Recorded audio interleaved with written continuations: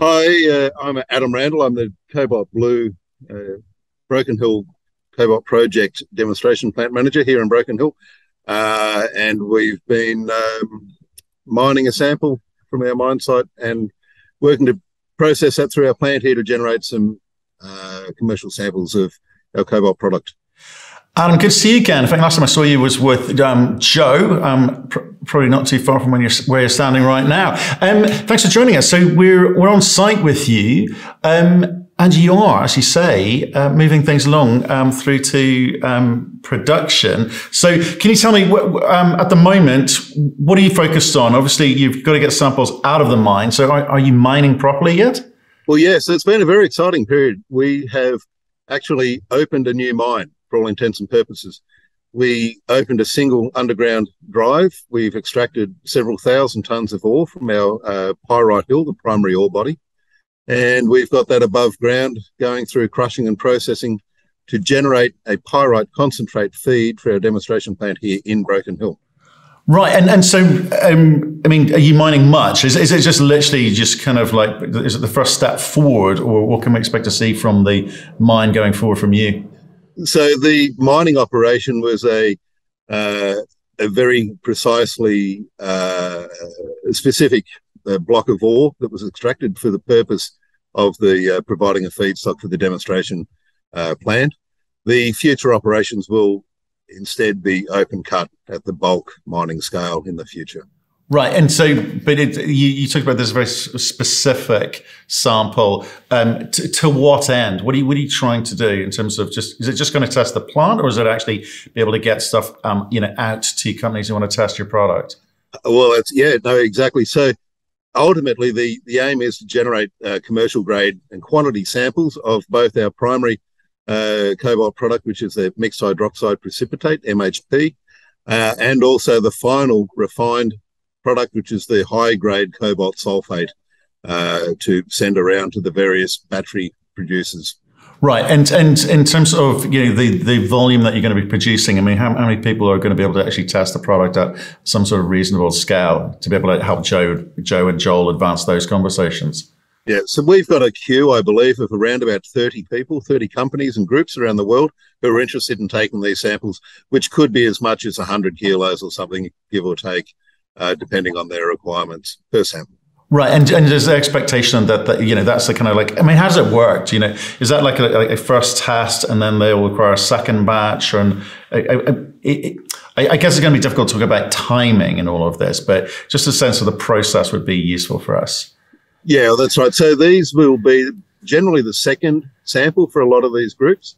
The first sample was was a smaller scale sample for their uh, for their laboratory testing, these samples are sized such that they can be integrated into manufacture of a battery. So they can actually be used to, manufacture a battery uh, for, for testing and evaluation purposes. Right. Okay. So it, it, obviously the, the kind of mine component is it's like, like baby, baby steps on that one just to be able to get you these kind of bulk samples. Um, in terms of the plant um, itself, um, again, just I'm just trying to understand the kind of the testing process because that's the important bit because you, these are signi- these these will be significant steps when you kind of start whittling it down as to who you know you want to work with or who wants to work with you.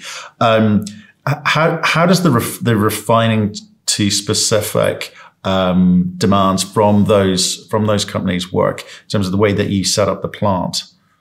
I think it's a little bit almost the other way. We we produce the product that we produce. Uh, the the the project is is uh, based around a, a, quite a unique ore body, uh, which carries the cobalt in pyrite and is almost exclusive of other other metals. There are traces of nickel and uh, and, and, and minor traces of, of copper.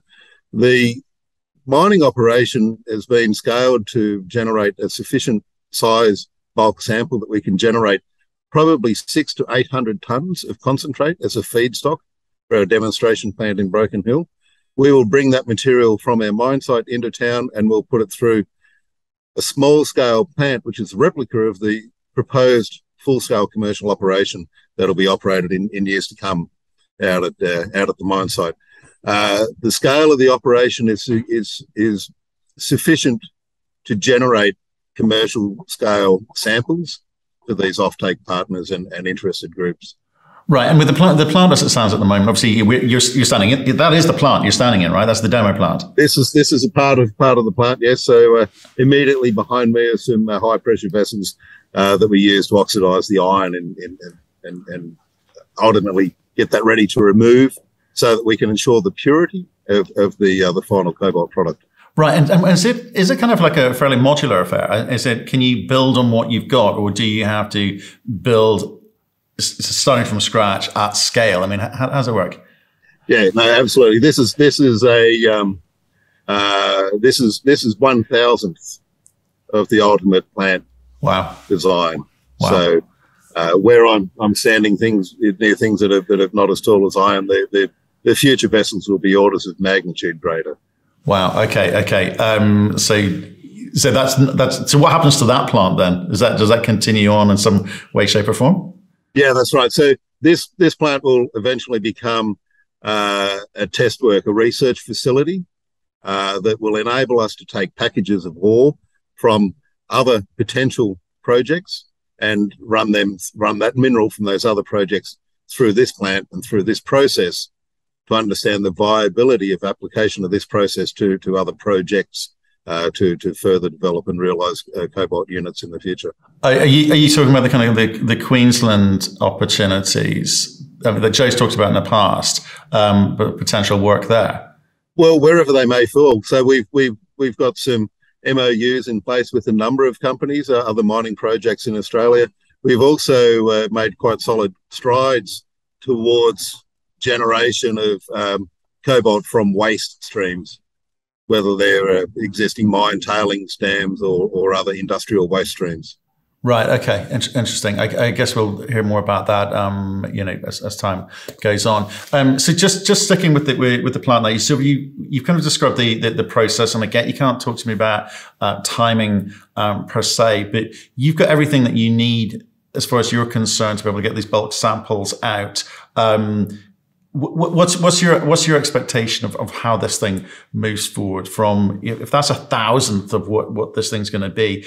Are you sort of planning out where the where the where the main plant goes? I mean, are you having to put orders for long lead items in place? I mean, can you do that so you've got contracts? I mean, again, how does that side of things work? We're, we're not quite at that stage, but but that's very strongly where, where we're heading to. Uh, in, in in overall terms, we've completed the mining on site We've com- completed crushing that ore and, and, and we've generated that feedstock for our plant out at site. Uh, we'll process that material outside and we'll make concentrate. We bring the concentrate in here. So over the next three to six months, we'll we'll complete our operation here at the demonstration scale. One of the largest outcomes from that is not only the, the samples that go around, but but also the collection of data, generation of data around the process itself, which then feeds into the engineering and, and economic studies for the full scale plant and project. Right, so, so you're, not, you're not talking like massive timelines here. I mean, the the, the kind of the speed because I think guess what shareholders are looking for is this kind of re-rate moment where you go from yeah, you, having been sort of explorer, and then you kind of have to work out technically in terms of what you're capable of doing, and then prove it at lab scale, and then prove it at demo plant scale. But the the big moment for the company is this re-rate through to developer seller uh, of of cobalt into the marketplace. So t- time frames are you given us a bit of a clue there. Is are we looking at next year for some sort of FID? Well, yes. So in, in, in the next year, we'll we'll get through that FID. Thereafter, the timeline would indicate that by 2025, 26, we will be uh, we'll have have boots on the ground at our mine site and doing site establishment and, and initial phases of construction. Right. Okay. Interesting. Interesting. And what about on the ground? Because we've seen, um, talked to a lot of companies, problems in South America, in even in North America, with regards to, um, you know, whether whether it be First Nations, Indigenous issues over there, um, or even or, or, locals, you know, anti mining rhetoric. So th- this whole ESG narrative is has been very, very important. It's now getting a little bit of stick um, from from from some parts as, as being a kind of false narrative. I mean, what, what's it what's it actually like for a company like yourself to moving into this phase where you know locals are going to start to see you know significant building works and um, you know and they'll have different views on that. I mean, how do you manage all of that? Well, there's a number of facets to that, and and in fact, there's that's an area that we're investing quite a lot of of effort and resource. Um, our model is largely to recruit from within the local community. Where our preference is to have a residential workforce. We're quite fortunate in that Broken Hill has such a long history oriented around mining as being the, the primary um, uh, industry in town. So obviously the local community can't provide all of those people that we need. So we plan to bring people to Broken Hill for these roles. Uh, we've currently got a workforce in around about 40 people, uh, and we anticipate increasing that to something like 400 people over the next two or three years. Right. Okay. So that's, that's significant in terms of, of, of jobs, but in, in, but what about the kind of in, in the background? There are going to be groups who may not be as as happy with um, you know large construction um, in in the locale. I mean, are you seeing any seeing any pushback? No, it's it's been very positively received in the local community. Um, the large scale plant is 25 kilometres out of town but it's close enough that it provides support for all of the local industries within town. Engineering steel fabrication electrical uh, you know uh, engineering supplies and, and and so on and so forth. It's uh, we've we've garnered a very strong local support base uh, you know and and the local community by and large is, is very positively disposed towards this project But, but how does that work? What do you actually do? What are you doing on the ground? So I'm, intri- sorry, I'm so perhaps overly intrigued by this because we've seen a few, again, companies elsewhere in the world kind of get, get crushed or like stopped in their tracks. And, uh, you know, we were talking to a group of copper CEOs who've got 10 projects on hold because they're just not getting the licenses that they, they need because they've got the support that they need. So what, what do you, what have you actually done? How, how, do you move this along? Or has it just been a case of there's, there's been no pushback, so it's been an easy ride for you?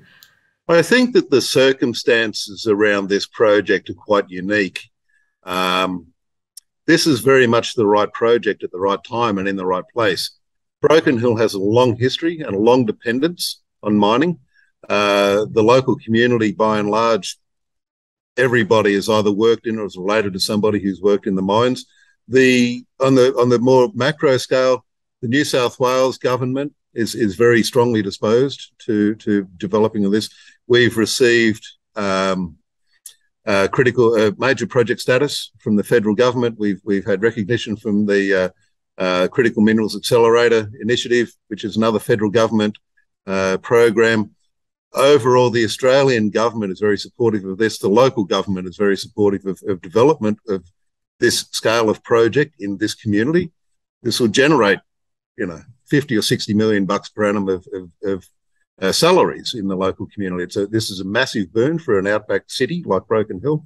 Uh, and and the uh, the local community, the local industry, and the local service providers are all uh, all very much looking forward to seeing this project come through to fruition.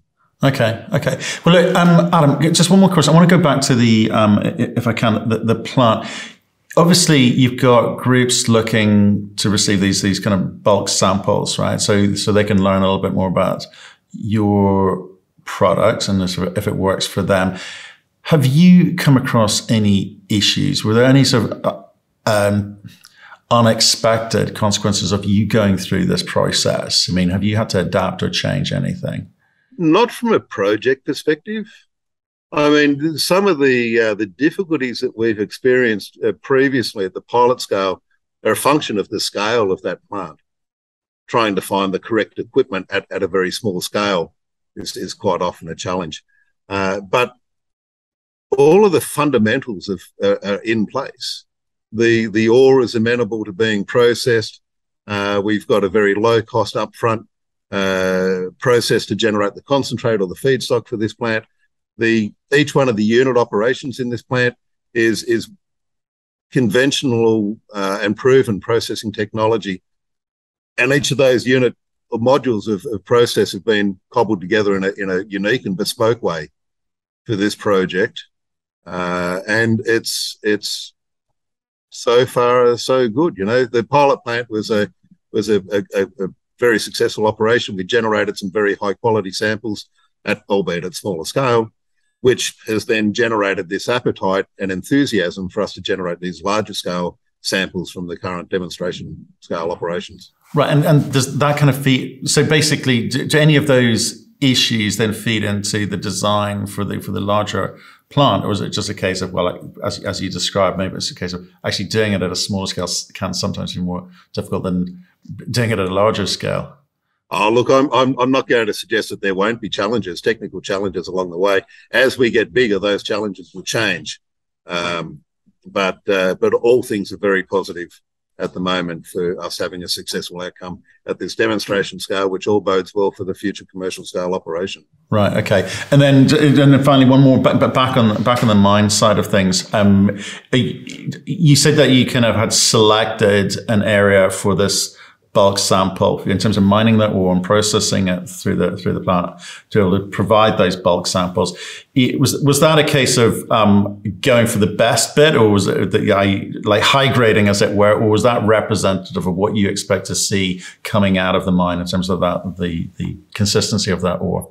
The, uh, the, the the section of the ore body that we tapped into is is is reasonably representative of the of the the wider and the, the rest of the ore body one of the big advantages with the location we chose is that it, started within uh, you know a handful of meters from surface. So rather than having to, to dig a you know, drive a massive decline too far underground, we were able to intersect the um, the ore body within 30 or 40 meters of surface on a, on a at a five degree incline. You know, um, the the decline was only 100 meters long. It was a very very short underground development, which which obviously returned uh, will, will provide a good return on investment. I didn't have to spend too much money doing it. Good. We like that. Well, that's right. we like that. Um, look, Adam, uh, thanks for the update and um, thanks for actually sort of showing us around or having it. Well, we've got a sense of what's going on there in the, in the, in the background.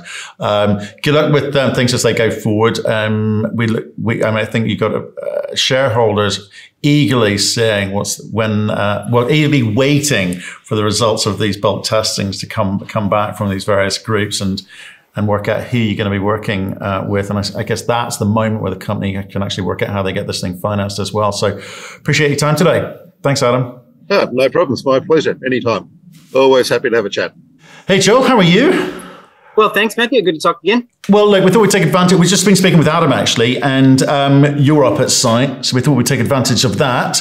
Um, so things seem to be going quite well uh, with regards to the, the mine. You're now mining. Wow. Um, and the plant in terms of producing um, large scale um, bulk samples for the groups that you're you're looking at. So, um, as far as you're concerned, what does that process allow you to do in terms of these large bulk samples that you're now sending out? Well, it's just a fantastic, as you heard from Adam. The most important thing is we've you know developed along this journey, or perhaps evolved is a better word. Now we're actually mining and now processing the ore from that site. And what that does is a couple of things for our commercial partners or our potential commercial partners. It, proves um, that we're you know have the ability to uh, upscale from we were from the from the pilot plant last year, um, and that we can actually make these large bulk samples. And I know that Adam discussed the importance of having a much larger sample of actually putting into the battery process. Uh, but again, most importantly, coupled with all the recognition we're getting from the government, um, those outside commercial partners, when I say outside, I mean international ones, it's really important that A, you have the um, backing of the government, and B, you've got a process that works. So, um, in, in terms of, of the commercial negotiations for potential offtake and, and partners, it's going really well. It's, it's kind of interesting. You talk about that journey. Um, you know, most companies struggle to find or make a discovery uh, in terms of the exploration phase, then then you've kind of got to ramp up through a kind of just um, a, a, kind of development phase as well, which I guess you you would classify yourself as advanced development with a demo demo plant. But shareholders are looking to this re-rate moment that most companies get when you get into production. So it doesn't feel like that's very far away now. Well, that's right, and we're um, um, very advanced through our DFS um, uh, pro- uh, process, so that will uh, be finished around this time next year. So we've got three um, big name engineers helping us uh, through that process. Um, you know, everything from all the permitting and a lot of the stuff that Adam described earlier in terms of gathering the data and how and, and measuring the performance of the uh, of the mine site, uh, crushing, um, concentrate, and of course uh, here in the plant, um, all of those all of those processes. So um, you know, it's just an invaluable time for us in terms of growing as a company. Uh, but obviously, the market's watching is very closely to see uh, the progress of that. Um, and then once we release the DFS, that obviously gives um, everyone more assurance of of what will eventually become, which is, um, as you know, uh, one of the only cobalt refineries outside of China. Yeah, which which I don't think can be understated actually. So in terms of the obviously you're getting bulk sam- bulk sample process is, is happening, but timing timing is everything. You know, you, you can be you can be lucky with that. You can be unlucky with that. As far as you're concerned, so you're looking to get into production when 25? Is that right? Late 25, 26 will really be the, the right. big year. Right. Okay. And in terms of the market, then, what what are you seeing out there at the moment? Is this this are the conversations? Um, well, how keen are they? Because you talk about being one of the only ex-China um, producers. Where does that put you in the driving seat, or is it still a buyer's market? Well, there's a couple of things there in, in that important question. So thank you for that. Um, well, first of all, when we meet with particularly battery producers who've got a mandate, um, you know, procurement guys who've got a mandate looking over the next five or 10 years, they're looking down the line and they, they can see the tightness of the market, not only of the cobalt market itself, but of the, of the, uh, of a premium cobalt product, as we've talked about before, which is um, not from uh, DRC and, and potentially skipping the, uh, the China route. And the other important development is what we've seen over the past couple of weeks in the U.S. with the Inflation uh, Inflation Reduction um, Act, uh, which is, um, I'm sure most of your viewers will be familiar with the details. But what for what's important for us is those um, incentives that the act is uh, providing for not only American uh, producers but any producer of a car that's being sold in the U.S. to ensure that a certain degree um, or percentage of the inputs come from a uh, free trade agreement or FTA friendly country which of course Australia is. That put uh, to go back to your original question, it does put us in the driver's seat. Um, it, it incentivizes um, U.S. or any producer of a car being sold in the U.S. to source material like ours and those of our direct peers uh, here in Australia, Canada, and the other FTA friendly uh, countries.